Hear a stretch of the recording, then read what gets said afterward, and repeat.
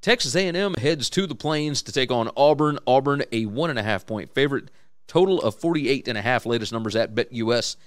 Let's pull it up on the screen, and then I will get into the trend lines here. The road team in this matchup is eight and two against the spread in the last ten. That would favor Texas A&M here. A&M is seven and zero against the spread on the road against a losing home team and they are 11 and 23 against the spread in their last 34 November games. So that certainly doesn't look good. They're 1 3 and 1 against the spread in their last 5 overall. Auburn 19 and 7 against the spread against losing teams. Uh, they are 4 and 10 against the spread in their last 14 overall. They are 1 and 6 against the number in their last 7 home games. So all those trends are well and good and whatever. But let's look at the actual stats here. Auburn uh, has slowed down a little bit as far as their explosive, uh, explosive passing and explosive rush rate and all that kind of mess, right? But just a touch. Uh, the offense is very much boomer bust. Like uh, you look at the success rates, uh, number 86 in rushing success rate, but number five in rushing explosiveness. Like they're number 24 in PPA per rush. You look at the passing, number 111 PPA per pass, number 74 in passing success rate, but they're number 31 in passing explosiveness.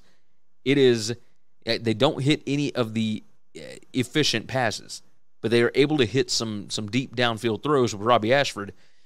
Uh, that Texas A&M defense, man, people are running on them 65% of the time. It's number 131. They are being run on more than any team in the FBS over the past five weeks. They're number 44 in rushing success rate, but they're number 118 in rushing explosiveness allowed. Tank Bigsby, Robbie Ashford are going to have a lot of fun running the ball on these guys. Um, they're not going to be able to throw it much on A&M, I don't believe.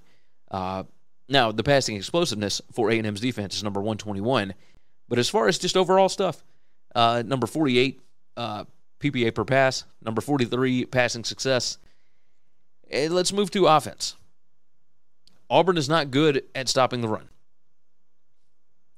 A&M is not running the ball very much over the past five weeks. Part of that might be the fact that they have been down multiple times. Conner Weigman is supposed to be back in this game. Uh, he, I believe, is their best option at quarterback. Uh, it looks like all those guys that had the flu and whatnot last week for the Florida game, they're going to be back. Um, but you look at you know rushing explosiveness, all this. I, I think Achane is better than these numbers.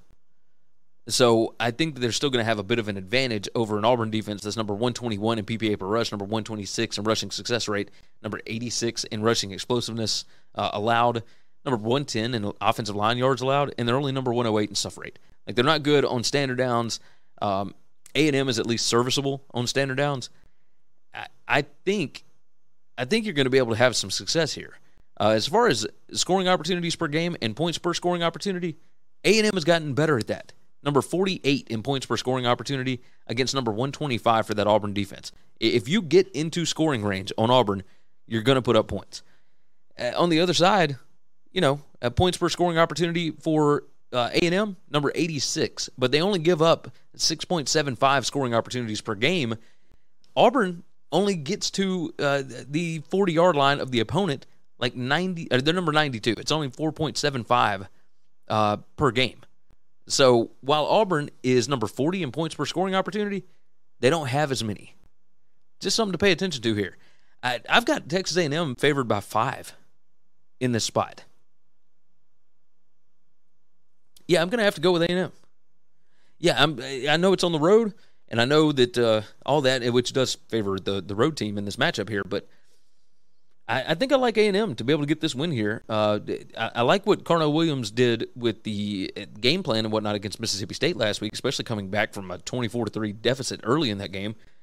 But, uh, but I think this is a different beast. Uh, I'm going to take A and M plus the one and a half. I think they win the game outright in Auburn.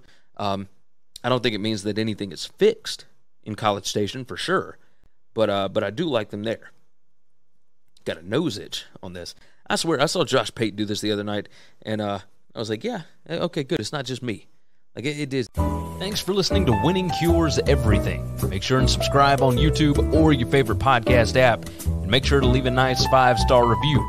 You can follow Gary on Twitter at GaryWCE, and the show is at Winning Cures. Be sure to check out the merch in our web store and share the show.